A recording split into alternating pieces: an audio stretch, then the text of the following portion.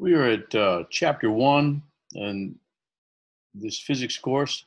Um, we'll uh, take each section. There's seven sections: standards of unit, standards of length, mass, and time, modeling and alternative representations, dimensional analysis, conversion of units, estimates, and order of magnitude calculations, and significant figures.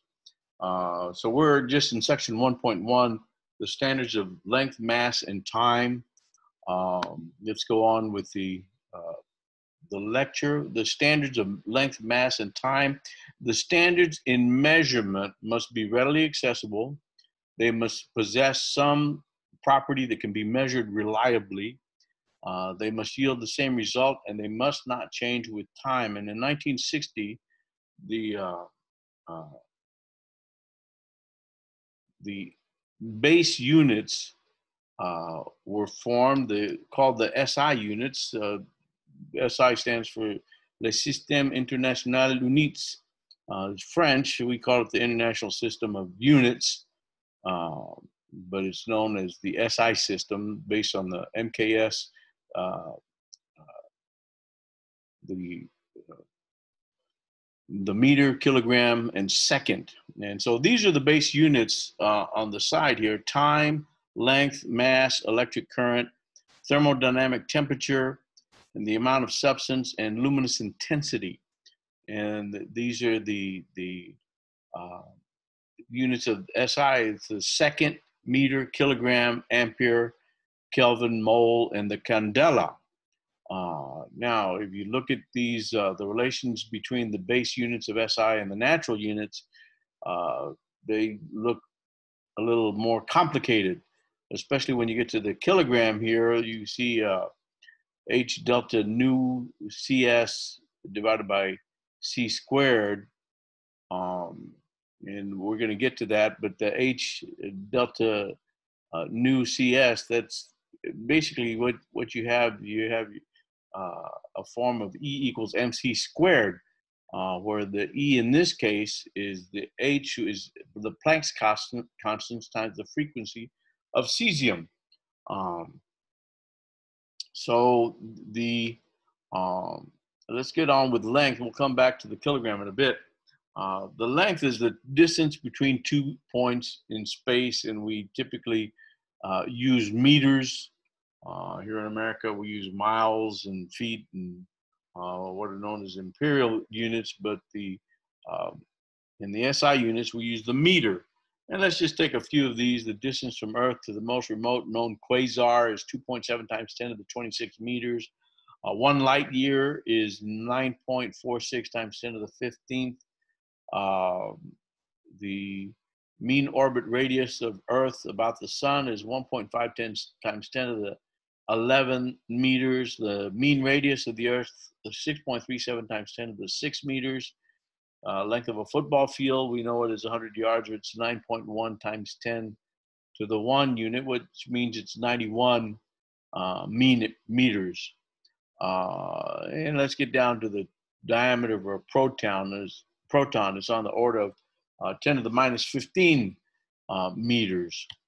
Um, so the meter, the is the the meter is the distance traveled by light in vacuum during a time interval of one uh, part in 299,792,458 seconds. Um, now let's get to the mass. Uh, now the mass, it says here, the kilogram mass the kilogram is a mass of specified platinum iridium alloy cylinder kept at the International Bureau of Weights and Measures at Sèvres, France. That is no longer the standard. Uh, it becomes a little confusing when we talk about the new standard adopted in, uh, uh, well, it was on November 16th, but it became effective May 20th, 2019. Let me just read the paragraph here. On November 16, 2018, the General Conference on Weights and Measures adopted a measure that effective May 20th, 2019, the SI units of measurement will be defined by means of a set, a set of seven fixed numerical values of natural constants. Um, This resolution now defines the kilogram as follows. A body has a mass of one kilogram if its rest energy is equal to the energy of 1.4755214 times 10 to the 40 cesium photons. I got this from the physics teacher. Uh, this is just a, a, 2020 publication, so it's pretty recent. Uh, let's go back to this. These are all the the um, um, the uh, base units, and you can see all except the mole. Uh, they all have this this uh, uh, frequency of cesium involved in it, and so it's a new new definition. Now, going from this first uh, result, it uh, be readily accessible. How readily accessible is this new definition of the kilogram? Well, I don't know that it's that accessible unless you have a uh, the, elect, the electrical electronic equipment, uh, the electrical balance needed to uh, to measure that. So anyway, that I just needed you to know that there's a new definition of mass.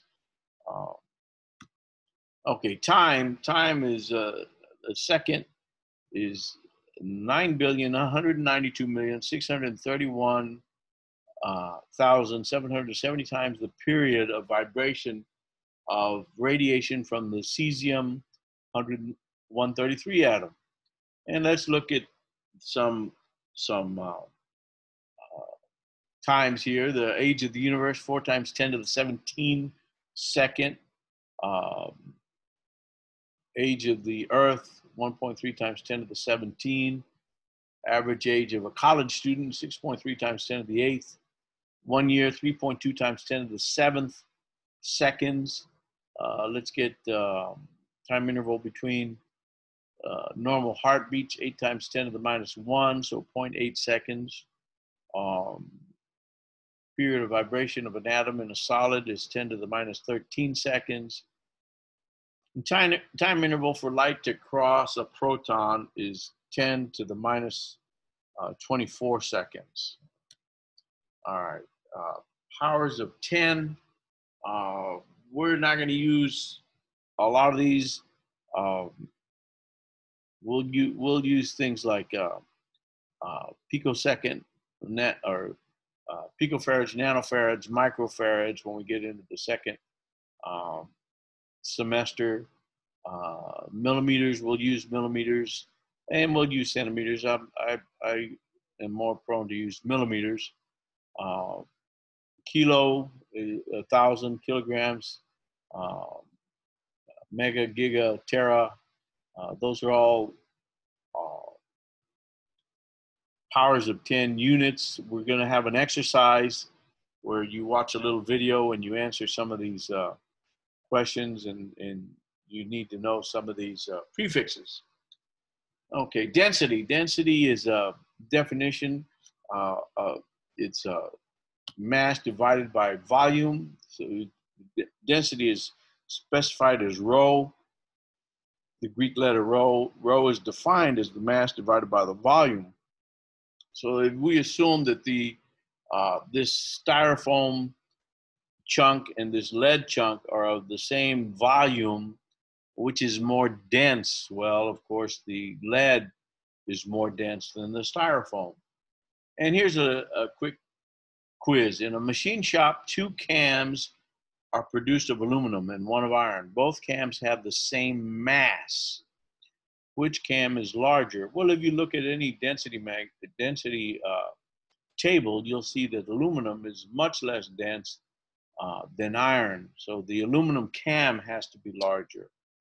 And that ends our, uh, our uh, introductory uh, lecture.